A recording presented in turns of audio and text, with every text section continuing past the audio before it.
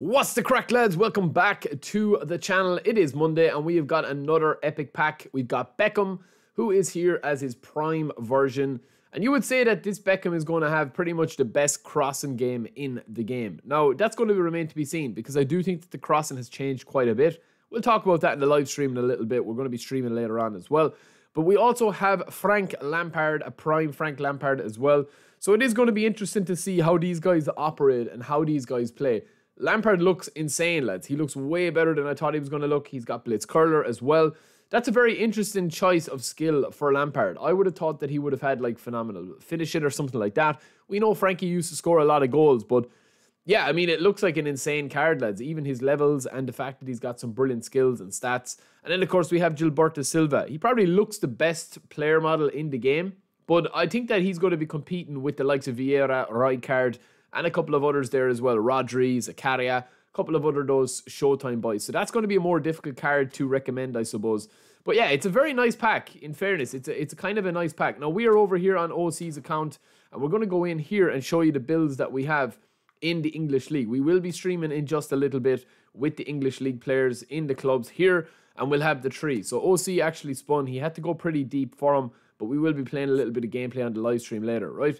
So I think if you're setting up with Gilberto Silva, he is down as an anchorman. If you're going for that kind of like anchorman orchestrator or anchorman destroyer type midfield partnership, and just keeping even a little bit wide, you can change a couple of bits and pieces. You could go Lampard into the center. That's probably where I would go with Frankie uh, Lampard. You know, I'm not going to tra- trade him too much for what he's good at doing, but it just depends on how you like to play him. I like having a central figure, like an attacking midfielder, right? But we're just going to show you three really quick builds of how how powerful these guys can get, right?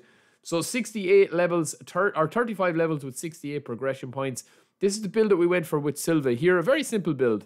So we're just going to pretty much get as many stats to 90 or plus the 90 mark as possible, right? We're not going to worry too much about his passing. He's our anchorman. He's our blocker. He's not our creator. So we've 90 tight possession, 91 heading, 96 awareness, 96 tackle, 90 aggression, 97 defensive engagement, and then that all important to 85 speed and 90 plus jumping and physical contact with huge stamina. Acceleration even at 80 as well. Now, if you're throwing a booster on him, I would say that you could actually put a shutdown booster on him as well if you wanted to add that. That would mean that you could take one off speed, and of course, you could add it somewhere else if you wanted to bring up his passing. Or you could put agility on, take one from speed and acceleration, and then do the same thing as I just said there. But that is Gilberto Silva. We do have Beckham as well. Now, if you're playing Beckham, I definitely think you need to play him as a right midfielder. He's not silky enough for a right winger, lads, in my opinion. But this is the build for Becks, right? We're not going to worry too much about his skills or anything like that, right? Obviously, double touch will be nice. If you are playing a defensive build of him, you can see OC is giving him interception and blocker here. This is largely going to depend on what type of player you want out of Beckham. Because he's got huge stamina, and every other version of Beckham, lads, is genuinely, they're always able to intercept the ball. So this guy is going to be no different. But I think this attack and build is insane. 90 dribbling, 90 tight possession, 91 low pass, 95 lofted, 85 finishing, 99 curl. And of course, we've got 89 speed, 90 acceleration, 92 kicking power, and 89 balance there as well. Now, we don't have the 90 balance because we have the Fantasista, I would potentially, if you're looking at doing something a little bit different, right, and you want to get him to that 90 speed, that 90 balance, which I think will make a bit of a difference on this card, you could give him the agility booster and just kind of like, yeah, like just have his his finishing a little bit lower. I think Beckham is not really a shoot shooting type of player. Like if we wanted to go that route with him, right, we could actually get that with him if we take his shooting away with this build, even with the Fantasista. And we're going to have, sorry, we're not going to have it into dexterity. Sorry, boys. We're going to have it into lower body, and we're still going to have that one into shooting there. We'll still have 80 plus finishing, but we will have 90 plus acceleration. It's just about that balance, getting it up to that zone because we're getting that booster. But, you know, if you have agility plus one, that will do the same job for you.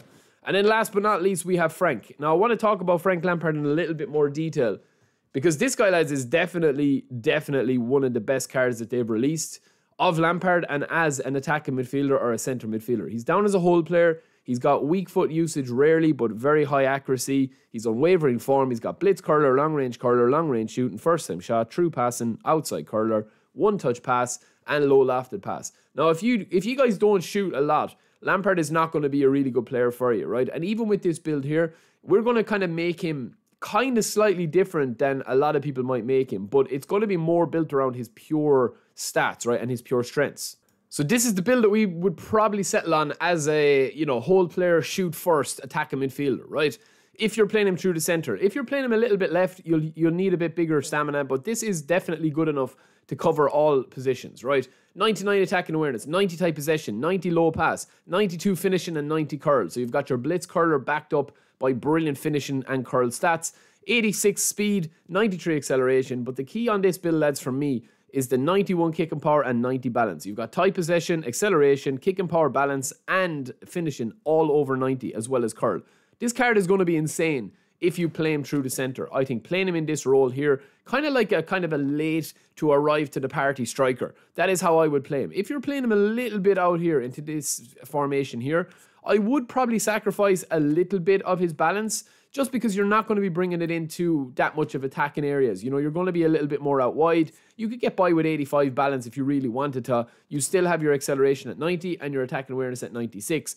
I'm a big fan of having balance at 90, especially when a player has got lower physical contact. But if you want to do this, you could just boost up his lower body strength if you want to make him a little bit more of a monster. And also, if you want to throw in one or two to his defensive, you can get his aggression to nearly 64 or 74, 75. But that would be a 90 speed build there of those boys. So, yeah, it's very interesting. Agility plus one on him there as well. And I definitely think giving him a little bit of additional skills such as knuckle shot, you could give him a couple of more other ones there as well. He has pretty much all that you wanted. Maybe weighted pass would be good in him as well. But let me know if you spun from. We'll be testing out these players in just a couple of minutes on the live stream. Until then, talk to you in a bit.